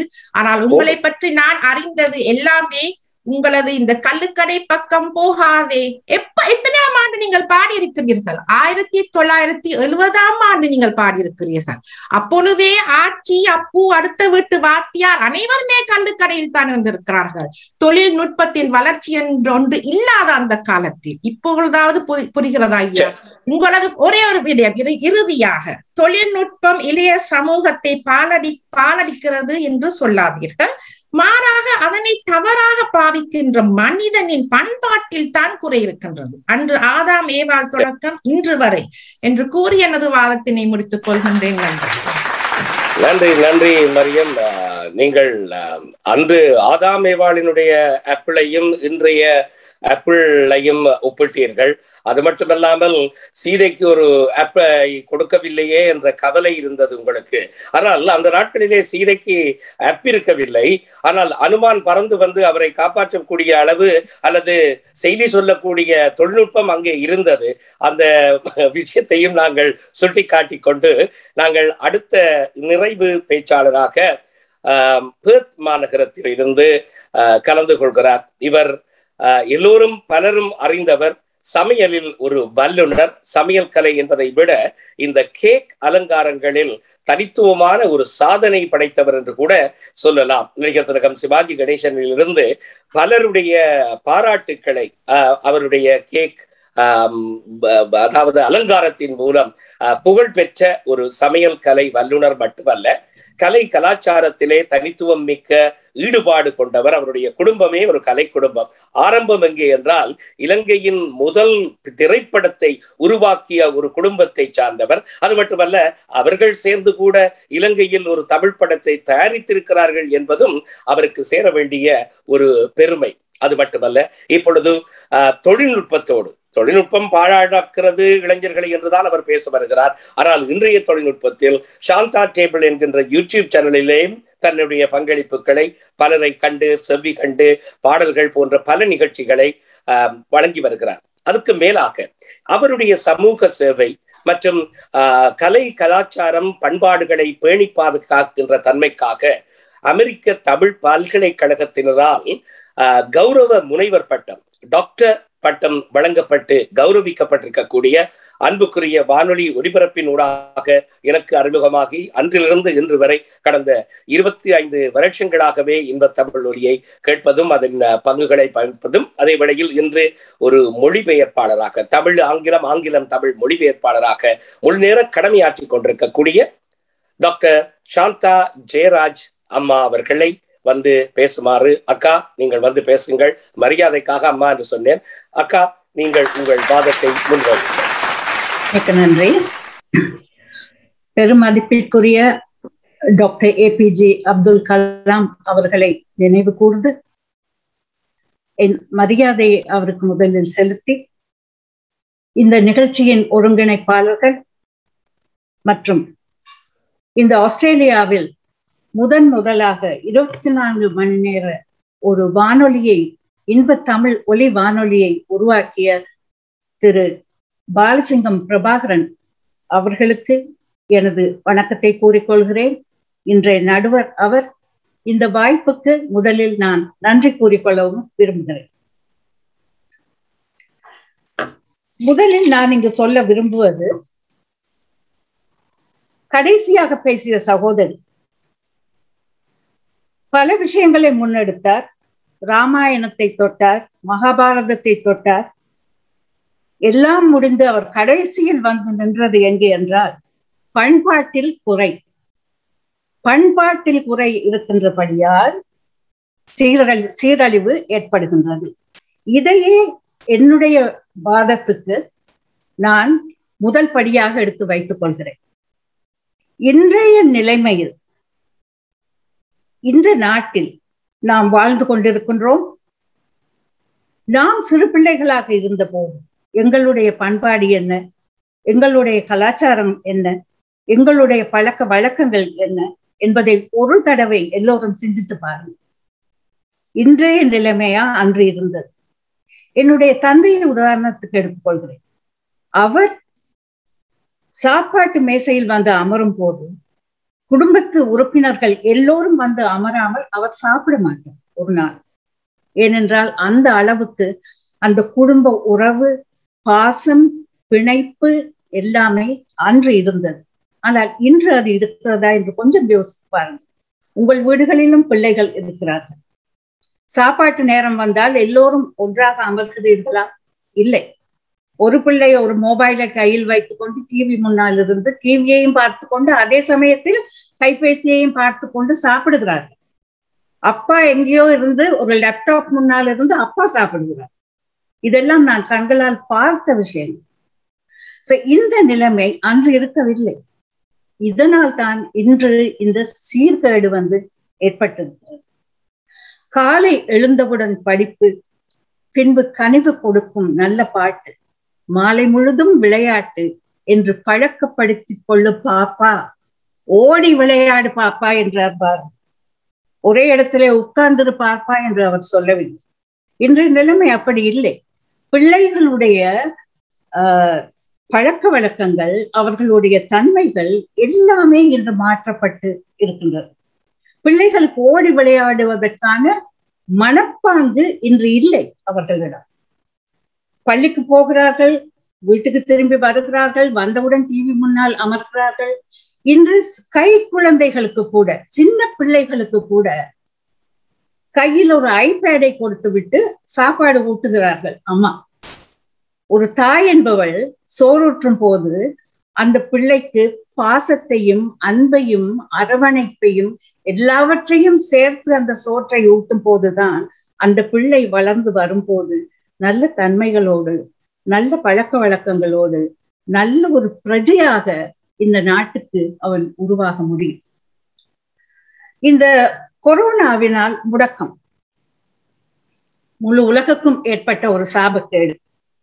இதனால் லைவ் ஸ்ட்ரீம் வருகிறது என்கிறார்கள். நாகரிகம் வளர்ச்சி அடைகிறது என்கிறார்கள். ஆனால் இந்த ஒரு லைவ் ஸ்ட்ரீமில் ஒரு கல்யாணத்தை பார்க்கும் போதோ ஒரு இறப்பு பார்க்கும் போதோ அந்த உணர்வு எங்களுக்கு வருகிறதா? இங்கு உணர்வுகளுக்கு நாங்கள் முக்கியத்துவம் கொடுக்க வேண்டும். ஏதோ பார்க்கிறோம். ஒரு சினிமாவை நாங்கள் போல் பார்க்கிறோம். தியேட்டரில் பார்க்கிறோம். டிவியில் பார்க்கிறோம். பார்த்ததோடு சரி அதை மறந்து விடுகிறோம். ஆனால் உணர்வுகள் என்பது அப்படி அல்ல. உணர்வுகள் என்பது நமது உள்ளத்தோடு சம்பந்தப்பட்டது. அது மட்டுமல்ல நம்முடைய வாழ்க்கையை தரமாக அமைத்துக் கொள்வதற்கு உணர்வுகள் பழக்க வழக்கங்கள் அன்பு பாசம் கல்வி எல்லாமே உதவுகிறது. அன்றைய கல்வியின் நிலை வேறு இன்றைய கல்வியின் நிலை வேறு. ஆஹ் அன்று அன்றைய காதல் வேறு இன்றைய நிலையில் காதல் வேறு. இவை எல்லாவற்றையும் விளக்கமாக சொல்லிக் கொண்டு போவதானால் அதற்கு அதிக அதிகப்படியான நேரம் வேண்டும். அன்றைய காதலர்கள் ஒரு கடிதத்தை ஒரு காதலன் காதலிக்கு ஒரு கடிதத்தை கொடுப்பதற்கு என்ன பாடுபடுகிறார்? இன்றைய காதல் ஒரு மொபைலில் ஆரம்பிக்கின்றது மொபைலிலேயே முடிந்தும் போகின்றது அதுதான் இன்றைய காதல். அது மட்டுமல்ல இந்த டிக்டாக் இது எத்தனை பெரிய ஒரு அநியாயத்தை இந்த உலகத்தில் ஏற்படுத்தி இருக்கிறது தெரியுமா? இந்தியாவில் இதை அப்படியே பேன் பண்ணிவிட்டார்கள். டேட்டிங் ஆப் இருக்கின்றது. இதெல்லாம் என்ன கல் கலாச்சாரமா? பண்பாடா? எந்த அளவுக்கு இது சீரழிகிறது?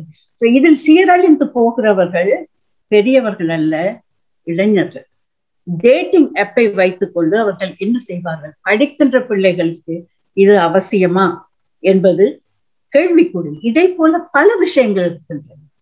நேர் பற்றாக்குறையால் நான் சொல்ல வந்த விஷயங்களை முழுமையாக சொல்ல முடியாத ஒரு நிலைமை இருந்தாலும் நடுவர் அவர்கள் வார்த்தைக்கு மரியாதை கொடுத்து அஹ், இன்று இணைந்து கொண்ட எல்லோருக்கும் எனது நல்வாழ்த்துக்களையும் சொல்லி நன்றியையும் கூறி விடைபெறுகிறேன். வணக்கம்.